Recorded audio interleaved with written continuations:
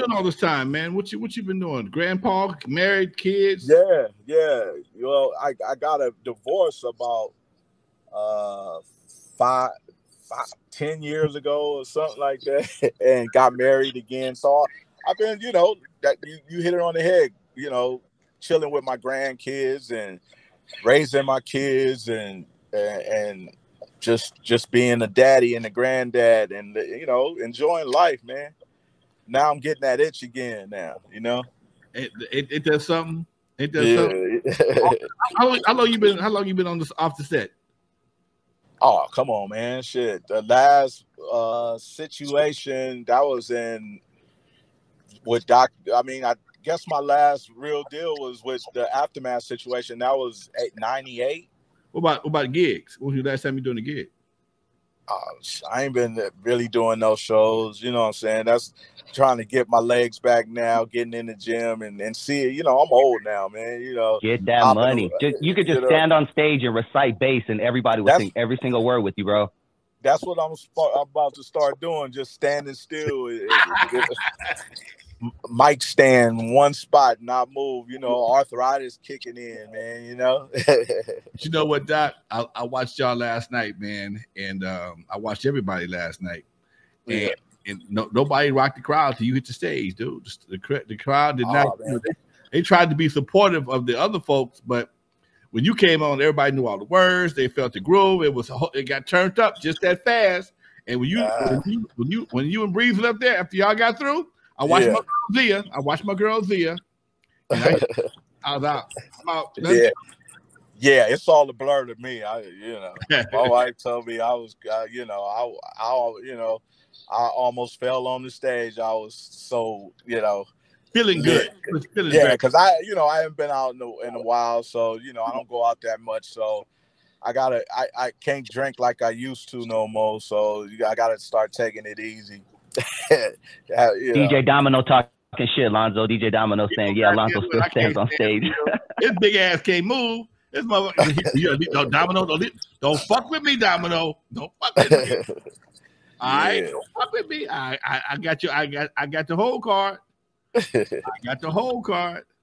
Uh, hey, uh, T, um, take us back to 95, 96. That was a real weird time in hip hop, you know, with the whole media created East Coast, West Coast situation. I'm sure you were on the road. Um, talk to us about traveling at that time and, and, talk to us about, you know, the untimely deaths of Biggie and, and Pac.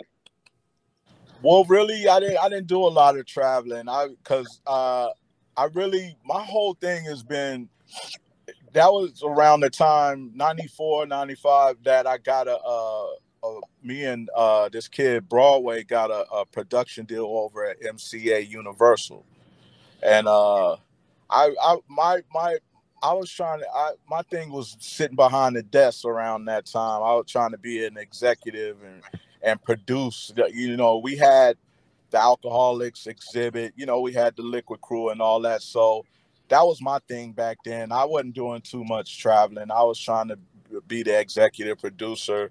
I did uh that one album King Chief for Life where I did the uh single uh Dipping and uh, uh Way Out There, you know, and that that was my that was my time trying to, you know, be behind the desk and put new acts together and things like that and produce. So and that, and and I'm still doing that, trying you know, getting back into uh producing and, and finding new talent. You know what I'm saying? What were you um, what were you thinking when you're sitting back reading the magazine, seeing the news stories, and just kind of seeing this East Coast West Coast thing unravel? Hit 'em up comes out, Biggie disses Pac on Jay Z's out, like all these little things, and then unfortunately Pac dies, and then Biggie dies six years, uh, six months yeah, later. Yeah, I, I I saw it falling apart, like you know, and how the media was portraying it and things like that. I you know I didn't put I didn't really mess around like that. Me me and Pac and and Biggie were cool. You know it, it was all sad and I kind of steered away from it. You know, uh, you know it was just a sad situation, but I. I was in another lane, man. I was, you know, I stayed away from all that. I didn't, I didn't really go around all that. It, it, I just saw it unravel, and it, it was a sad situation. how did you stay out of it?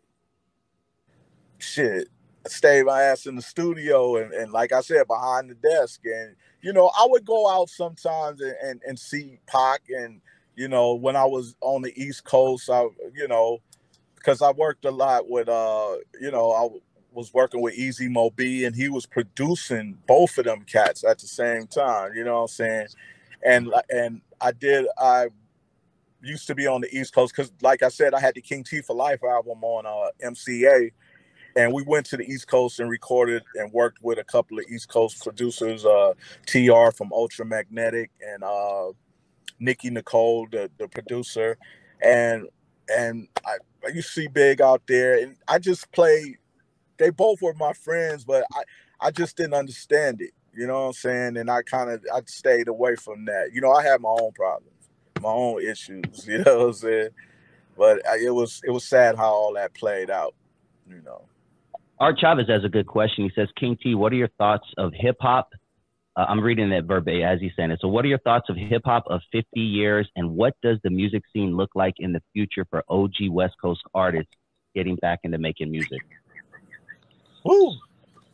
I mean, I'm I, actually I, I'm I'm I'm loving uh, what I'm seeing. You know, people said it wouldn't last and and here we are you know what i'm saying and i'm loving what the younger generation is doing they're keeping it going and you know uh and and but you know a lot of people have you know a lot of people have things to say about the new generation but that's that's what's keeping hip-hop alive and that's what you know how we're able to survive 50 years, you know what I'm saying?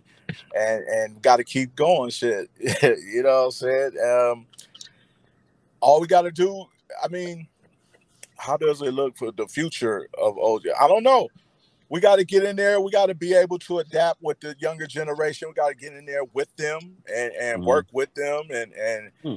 you know see where they're coming from. And, and I don't know if I'll be able to get on in, on one of them trap beats or whatever. But shit, I'm I'll try. You know what I'm saying? I love music, man.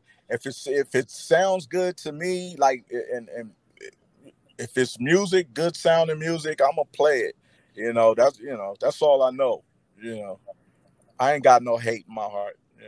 Yeah, good. You were one of the um founders, pioneers of reality rap that eventually was coined gangster rap what are your thoughts on drill music? Are you familiar with the drill scene where these kids are going back and forth and there's guns involved and there's just uh, trash talking to an ultimate level where they're literally peeing on grave sites of their rival rapper friends and they're they're going they're just doing really are are you, are you keeping up with that side of hip hop today?